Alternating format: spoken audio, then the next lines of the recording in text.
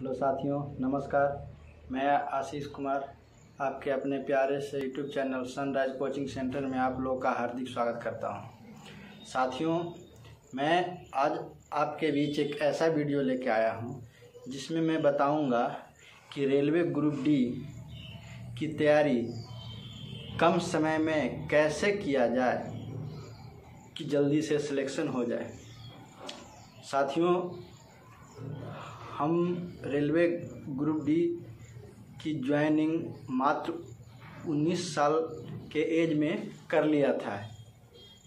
अब मैं आपको बताता हूँ कि रेलवे ग्रुप डी की तैयारी कैसे किया जाता है, जो कम समय में अच्छी सफलता हासिल हो सकता है। साथ ही मैं बताना चाहता हूँ कि जो हमारी तैयारी करने का जो तरीका था, उस पर हम सेट प्रैक्टिस पे ज़्यादा फोकस रखते थे।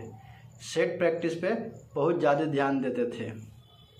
जितना भी मार्केट में पब्लिकेशन था ग्रुप डी के सेट प्रैक्टिस का, उसको मैं खुद से घर पे अपने रूम पे ही मारते थे और एक दो बैच में जाके भी मैं सेट प्रैक्टिस किया करते थे।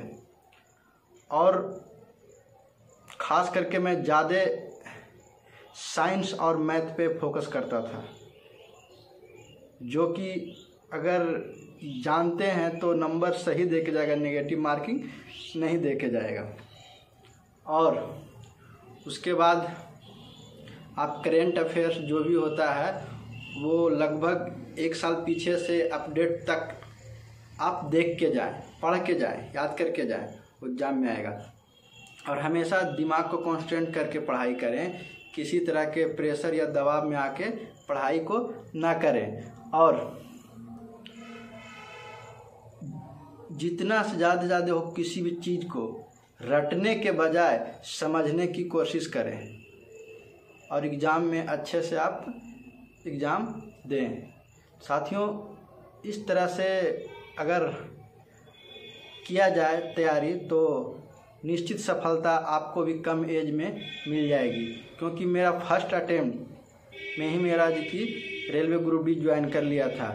उसके पहले मैं कंपटीशन का कोई भी एग्ज़ाम नहीं फेस किया था, नहीं दिया था। मुझे पता तक नहीं चलता था कि कॉलम में क्या भराएगा, नहीं भराएगा, क्योंकि मैं पहली बार एग्ज़ाम था।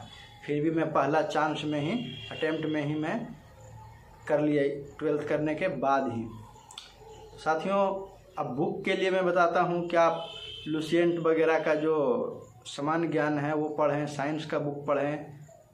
फिर उसके बाद क्यूज प्रतियोगिता में अक्सरहा शामिल होने की कोशिश करें।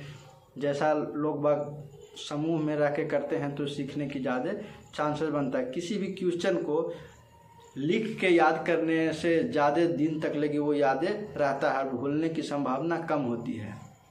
तो साथियों, इसी तरह से हमने पहले प्रयास में ही अपना ग्रुप डी का जॉब हासिल कर लिया।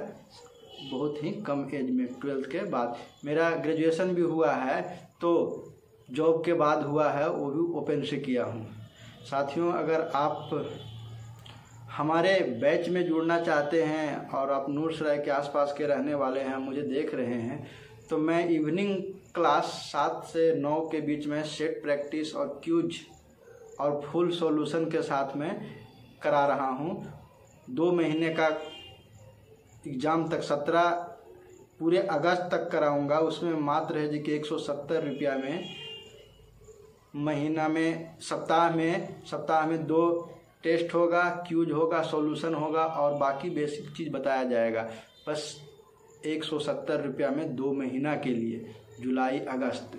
तो अगर जुड़ना चाहते हैं तो हमारे बैच में आप आके जुड़ सकते हैं और एक सफल इंसान की श्रेणी में आप भी अपना कदम रख सकते हैं।